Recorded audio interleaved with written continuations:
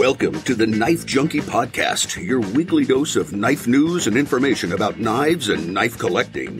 Here's your hosts, Jim Person and Bob the Knife Junkie DeMarco. Hello, and welcome to episode number 28 of the Knife Junkie Podcast. I'm Jim Person. And I'm Bob DeMarco from theknifejunkie.com. Welcome to the show. Welcome to another great one. We're going to be talking Moms and Mother's Day, uh, one of the special events coming up in the month of May, and a lot of uh, special things going on, Bob, during the month of May. In addition to Mother's Day, there's uh, Cinco de Mayo, the Kentucky Derby, uh, Memorial Day holiday, a lot, a lot of stuff in May. My mother's birthday comes right before Mother's Day, so it's a double whammy. Ah, two gifts for her then. Yeah, exactly, exactly. And and usually it's uh, flowers will suffice for one of them because she loves flowers and Mm. she's trying not to accumulate too many things. You know, in the autumn of your years, you don't want to keep collecting new, more and more stuff. So, you know, ephemera like flowers are good. But when you have a, a birthday and then Mother's Day, you know, five days apart, you, you can't send two batches of flowers. You know, that, that's a lot of death to witness as well. Well, what I've uh, what I do for a lot of uh, special occasions, uh, give them a plug, even though they're not a sponsor of the show, is uh, Sherry's Berries. Uh, my wife loves the chocolate dipped strawberries. Oh, yeah. and, and yeah. so do I. yeah, and you can justify uh, eating those late at night because you can you can call it fruit, you know. So it's like health food. Oh, I hadn't thought about that. Good Yeah, point. yeah. So uh, Mother's Day, we're going to talk about uh, Mother's Day, moms and knives with a uh, with a special show. But uh, just want to kind of use this opportunity to remind our our listeners, especially regular listeners, will know. But our show production schedule is that we like to come out on Sundays, which is uh, this episode Cinco de Mayo. So, have you got any uh, special Cinco de Mayo plans for uh, for today, Bob? Uh, well, we're going to be making fish tacos, and and uh, I saw my wife got a bottle of tequila, so that means Uh, something. I'm not sure what. So- Sounds like good. Anyway, so I just wanted to drop that, let folks know that that's our normal production schedule. We like to try to get the shows out on Sunday so that if you're finishing up your weekend, you can listen to it, or it's uh, it's in the queue and waiting for you on first thing Monday morning. If you happen to have to drive to that uh, job. Uh, you can listen to the podcast in your car.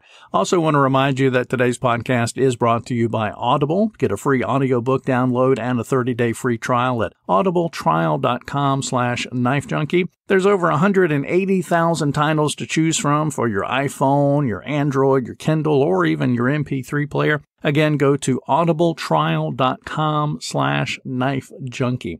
And Bob, I uh, saw some news yesterday or this morning. I can't remember uh, when it was about uh, case knives and forged in fire, which I know is one of your your favorite shows. Yeah, looks like yeah. Uh, looks like uh, case is going to be featured on the next couple of issues or the first couple of episodes of the of the new season of Forged in Fire. Oh, that's great because uh, first of all, that show is amazing. It's a uh, I just have to give a an unsolicited plug yet again. Mhm. Uh, I, I love that show. It was a show I was wishing for for a long time. Uh, after years of watching uh, substandard reality, I was like, why can't they just do a timed edged weapon competition show? Right. And boom, there it is. Somebody stole your idea. yeah, exactly. Well, I'm glad they did. Yeah.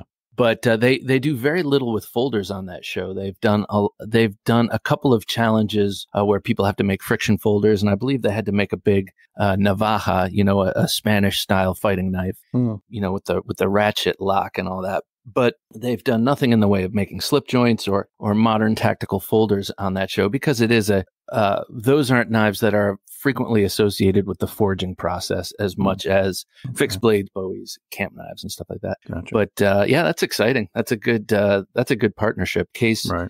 partnered up with Southern Grind. That Zac Brown from the Zac Brown band. That's his knife making outfit. His his knife company out of Georgia. They make amazing small batch uh, factory knives here in America, and uh, they just teamed up with Case. I believe it was last year to come out with a pretty racy looking folder, something new for both brands. Hmm, So it was cool. Uh, all right.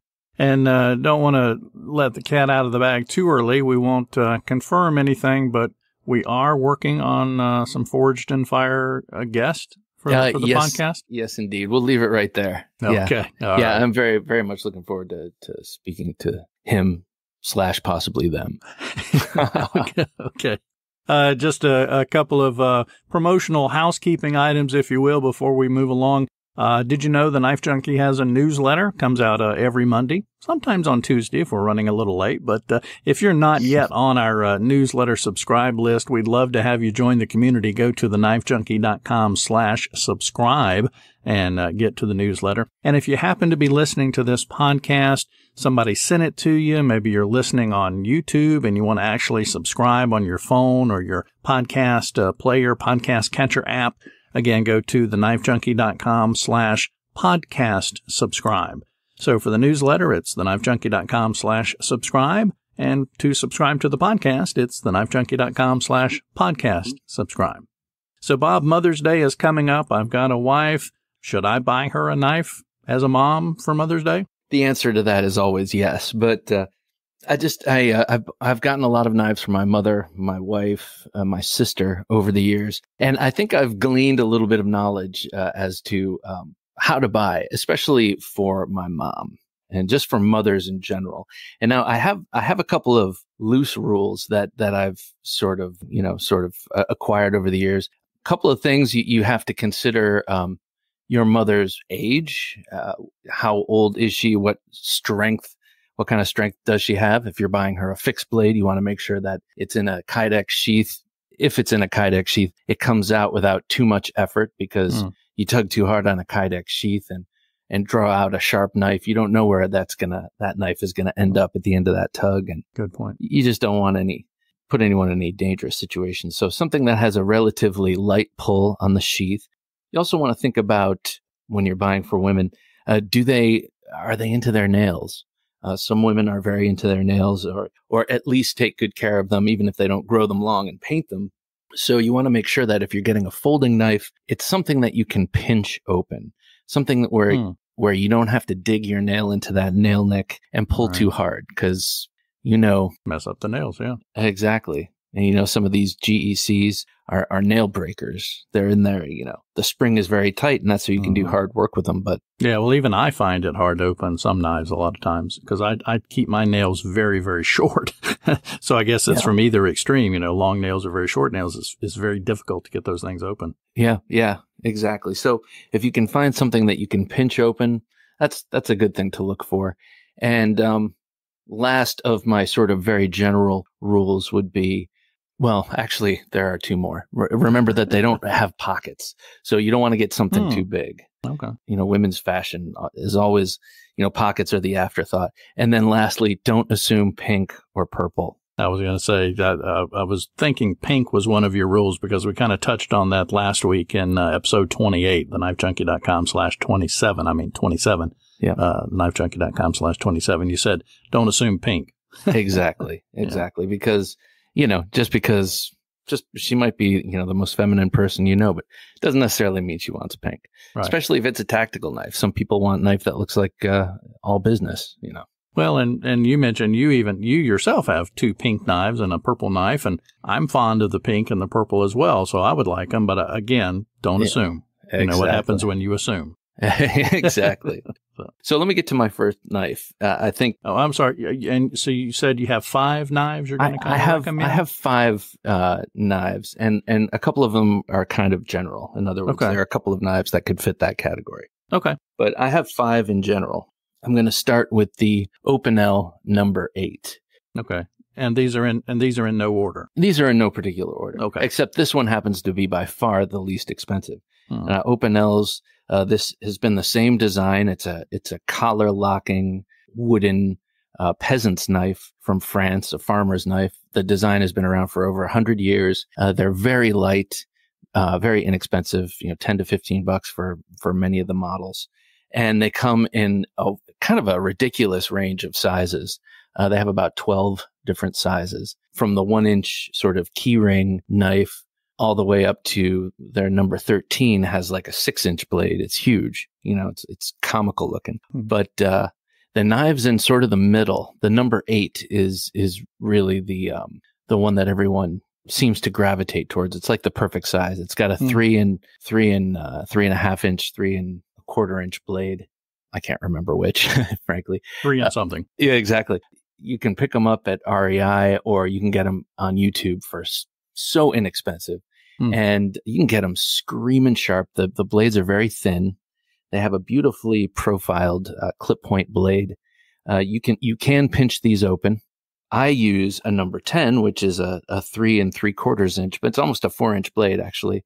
And I customized the handles. I, you know, did some carving on the handle and stained it. And uh, this is my going out to dinner steak knife. It makes a great, great steak knife. And when you go to the restaurant, you don't have to hold on to that nasty, damp handled saw blade that they hand you. right. It just came out of the wash and it's exactly. all wet, and who knows if it's even clean. Yeah, and it's just going to shred that beautiful piece of meat you paid all that mm-hmm. money for.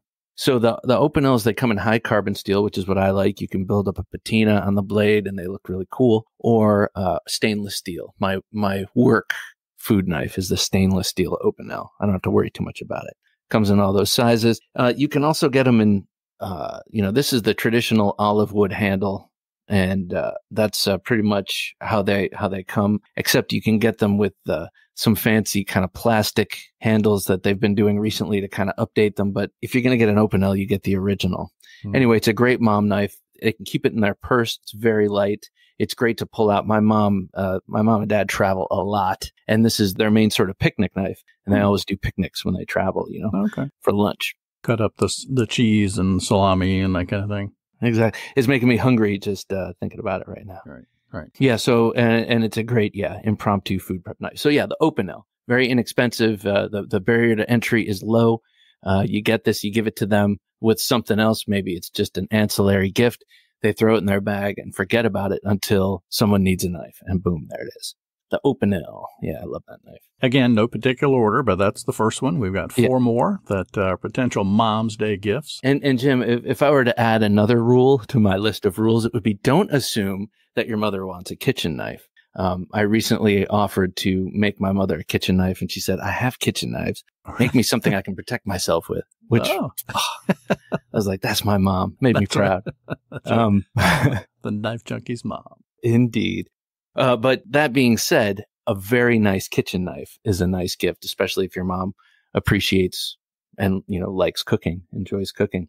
Something you should pay attention to is your mother's hand size. Uh, my mom is very petite, and the knife that I would choose for myself is different from the knife I would choose for her. If I were to get her a really nice kitchen knife, um, just to have in the in in the uh, in the block that's always sharp and looks really nice, maybe uh, just feels really good in hand, better than all the rest of the knives. I would get her like a paring knife or a boning knife, something small that I know she's going to use a lot, uh, instead of the big prize chef's knife, eight or ten inch chef's knife. Right. But uh, I I would go for a Shun. Shun is a is a kitchen knife brand uh, by Kai USA. Kai USA is the is the umbrella group that creates Kershaw and Zero Tolerance. Oh, okay. Shun, and uh, their kitchen knives are beautiful. I've um, I've had a set of them since uh, well for twelve years since uh, wow. my wife and I got married. They're really great knives. the The blade stock is very thin. You can get them very very sharp. They don't hold an edge for super long, but usually, uh, you know, you should be running your blade over a steel every time you use it in the kitchen anyway, and then you, you won't have much of a problem. Hmm. It's like stropping, you know, for a kitchen knife.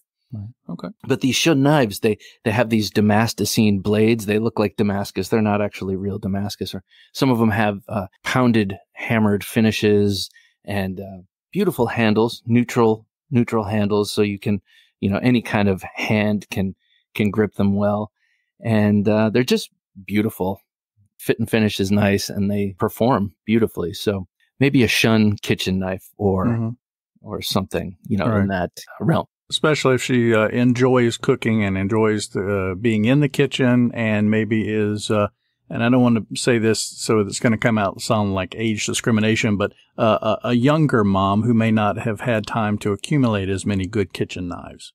Yeah, well, actually, that could be. That could be. Or I'm thinking the other end, end, of the spectrum. You've had your same kitchen knives for so long and they're tried and true. And somehow you've learned how to cut with them because they're, they're dull as, as all get out. Right. So here comes along this, oh my gosh, you know, this is my fancy knife. It, right. It's like a lightsaber, you know.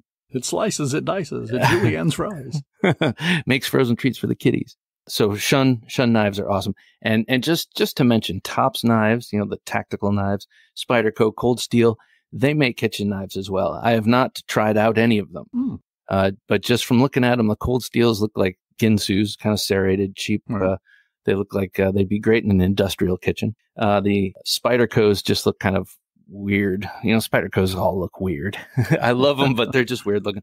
And tops, they look like you could, uh, you know, chop a tree down with them. So, um, consider a nice kitchen knife, right. something with, like the Shun. Okay. Get it all shiny. Well, again, remind you that uh, today's episode uh, came out, is coming out on uh, May 5th, Sunday, May 5th, and Mother's Day is Sunday, May 12th. So, depending on when you're listening to this, you've got a week or less to get your mom, your wife, your daughter, uh, a great knife for Mother's Day. And we've gone through a couple and we've got three more. So uh, what's next up on your list, Bob? Well, the, the next is the ubiquitous Victorinox. I mean, I could have you sell this product. It's, yeah. The Victorinox Love is, Love it. Yeah. It's, it's unrivaled, I think, in, in, I don't want to necessarily say utility because, uh, the Leathermans are pretty sweet, but to me, in terms of charm, they have all these amazing tools on them. And I will note to me, the scissors the tweezers and the toothpick are are the best. Right. You got a great blade. You got all these other tools you can get them, and they come in a variety of sizes. You could get the tiny uh, classic that gives you a lot of utility with five different tools, but it fits on the keyring. You can go up to the medium size, the Tinker.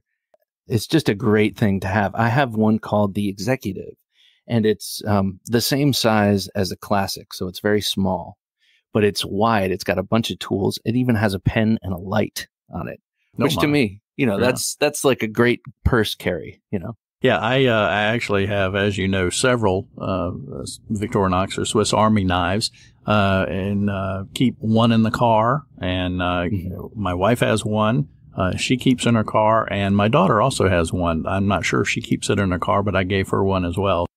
I don't use the scissors, but the toothpick and the tweezers, those are my two favorite parts of it. Amazing. And and you can get it if you go on Blade HQ or uh, Smoky Mountain Knife Works. You can find them in literally hundreds of different uh, covers, uh, when, handles, you know, mm. different customized handles. Uh, it's pretty amazing. Well, if you are uh, wanting to get one of those for uh, mom, daughter, wife, or whatever, you can go to theknifejunkie.com slash BladeHQ and uh, that'll take you right over to uh, Blade HQ, and uh, you can pick up one of those for uh, for mom, wife, or maybe just yourself. Get two while you're at it. I, I, might add, Jim, that something like a Victorinox is very uh, unthreatening. You know, you pull that out of the yeah, people recognize it and they don't find it to be a weapon. Right. So. Right. Exactly. Maybe you can even carry it in New York. Who knows? Yeah, yeah, probably not. probably not. But interesting. Several months ago, we had to go to New York for about a week, and I didn't even think about it. I was kind of like you. You said when you lived there, kind of you know oblivious to the rules and regulations. I I had my Swiss Army knife. Uh, I carried that one with me instead of the little GEC because of right. the toothpick and the other features. But I I had that in my pocket every every day I was out, to, you know, to the hospital, shopping, down the street, didn't even know you were a renegade. I could have been busted. Yeah. All right. So three three down, two to go. What what else we got from on? So I'm thinking a a locking folder, something that's a folding utility knife that locks. My mom is a very handy uh, woman. She can handle a and uh, this sounds patronizing. I don't mean it to be so, but you know she could she could use a locking knife. Mm-hmm. Uh, in other words, she does things uh, rigorously enough that a locking knife would come in handy for her. Mm-hmm a Spyderco Delica or a Dragonfly are the first ones that pop to mind because they don't have complicated locks. Everyone, everyone uh, who's grown up with a grandfather or everyone who was born before, you know, 1980 can look at a lock and see a back, look at a knife, see a back lock and know that that's how you close the knife.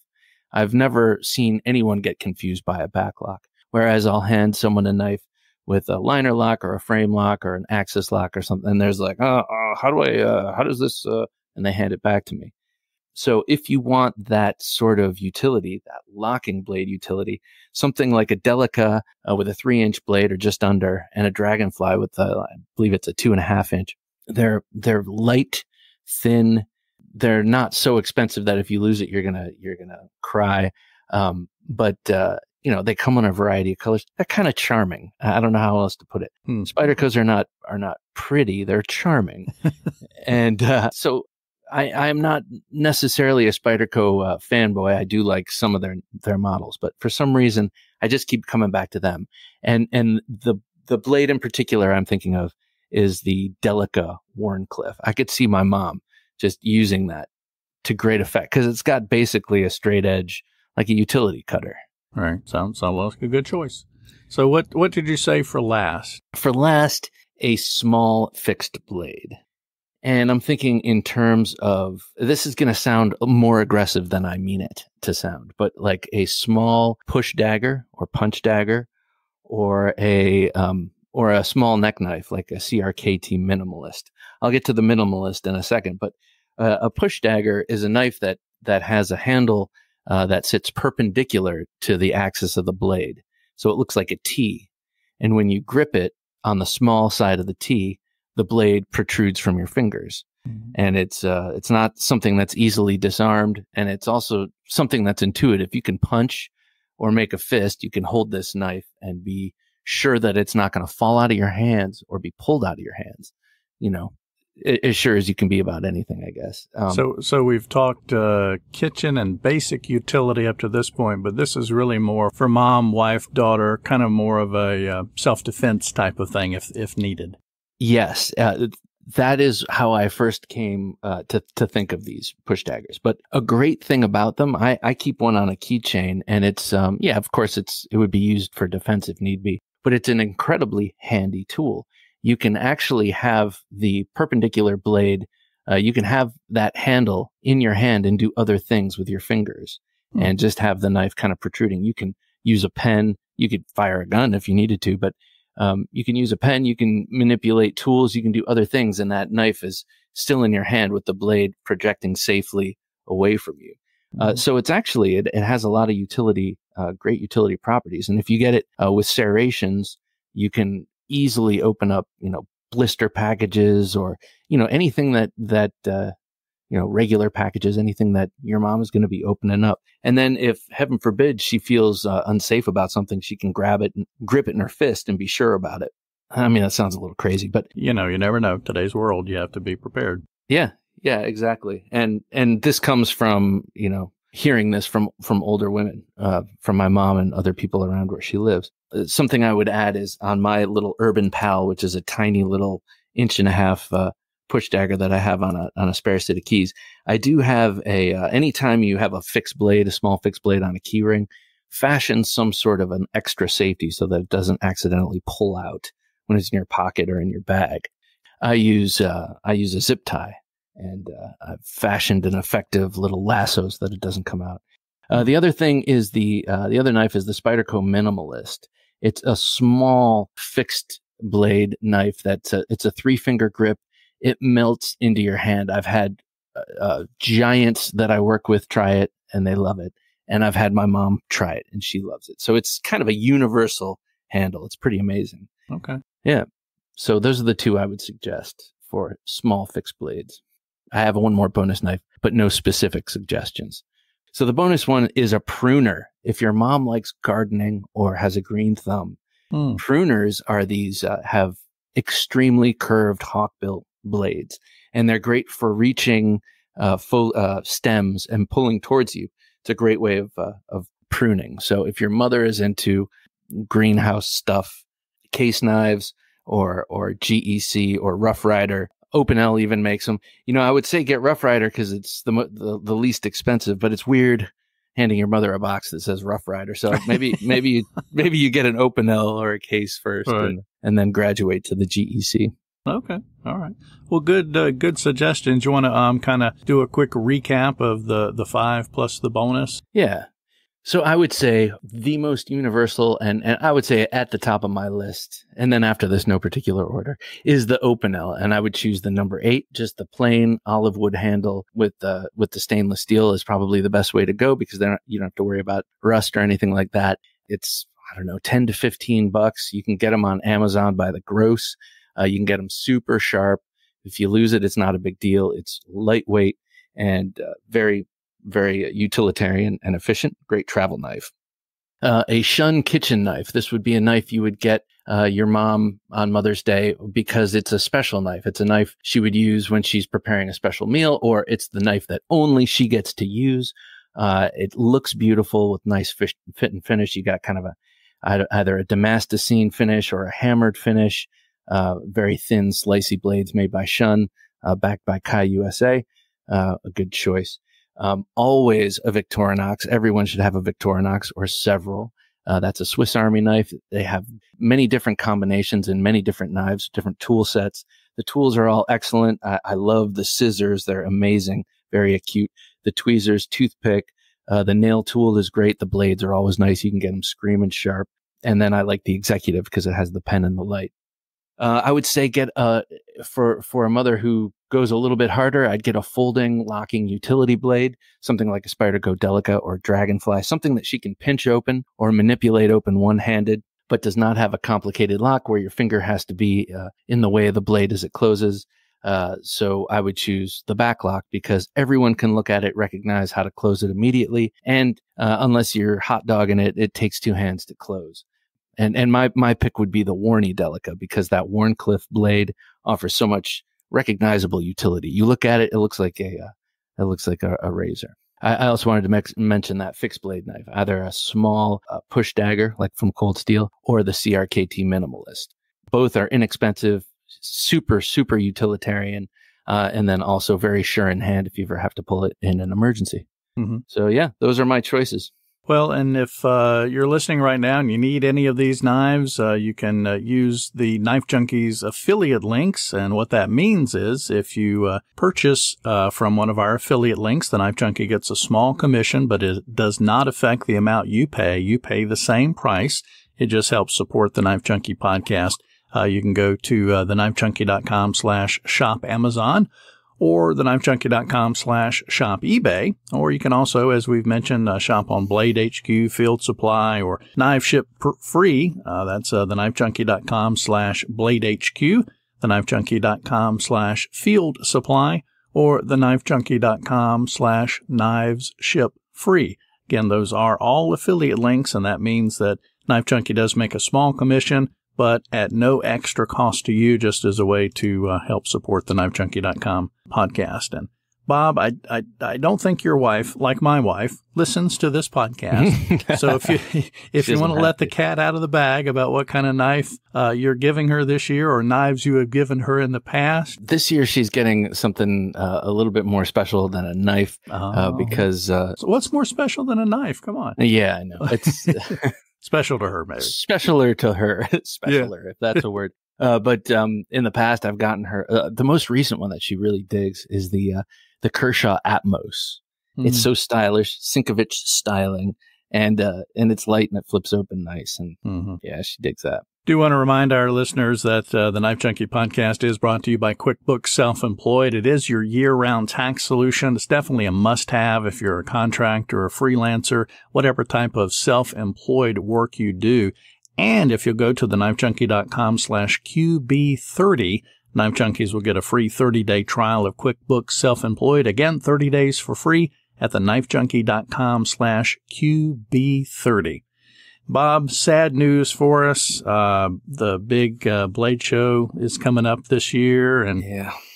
Life events get in the way. Job and my son is graduating high school this year, so I didn't think I could miss that. So yeah, we will not be able to attend Blade HQ this year. no, no, uh, Blade Show, no. Um, yeah, Blade Show. Uh, Sorry, uh, I'm already laying down the law right now uh, in the in the other uh, in the other areas of my life and telling them that I will not be present next year. Right. Microphone at the ready. That's right. That's right. Pod, uh, the podcast going on the road here, hopefully sooner than uh, than later, as we uh, look to do uh, some remote interviews and uh, things from knife shows. So if you have a, a knife show upcoming, don't forget our calendar of events. We'd love for you to put it on there. We'd also love to chat with you on one of the podcasts to give you some free promotion for your knife show. Just go to uh, theknifejunkie.com slash guest and you can fill out all the information there and we'd love to chat with you. And Speaking about the knife junkie and resources and things like that, if you have a different knife that you've given your wife or your mom or your, your daughter or whatever, or you think of a knife that was not on Bob's list that, that should be, we'd love to hear from you. Call the Knife Junkie listener line at 724-466-4487. That's 724-466-4487. The listener line is set up so that you can leave your uh, thoughts and your recording right there. We'd love to play it on the podcast and share your thoughts. uh, with the rest of the Knife Junkie uh, podcast listeners. So if you've got a recommendation or if you disagree with anything the Knife Junkie said, we'd love to hear from you. Again, 724 466 4487. As we uh, wrap up, Bob, anything uh, you want to kind of uh, kind of end up with here? Well, don't forget your mother on Mother's Day, and uh, you know it doesn't take buying her a knife to show her that you love her, but tell her that you love her. And a knife shows that you do. Yeah, well, that's that's the way. All right. Thanks everybody for joining us on the Knife Junkie podcast. We look forward to you joining us again next week. Thanks for listening. Thanks for listening to the Knife Junkie podcast. If you enjoyed the show, please rate and review at reviewthepodcast.com. For show notes for today's episode, additional resources, and to listen to past episodes, visit our website, theknifejunkie.com. You can also watch our latest videos on YouTube at theknifejunkie.com slash YouTube. Check out some great knife photos on theknifejunkie.com slash Instagram and join our Facebook group at theknifejunkie.com slash Facebook. And if you have a question or comment, email them to bob at theknifejunkie.com or call our 24-7 listener line at 724-466-4487 and you may hear your comment or question answered on an upcoming episode of the Knife Junkie Podcast.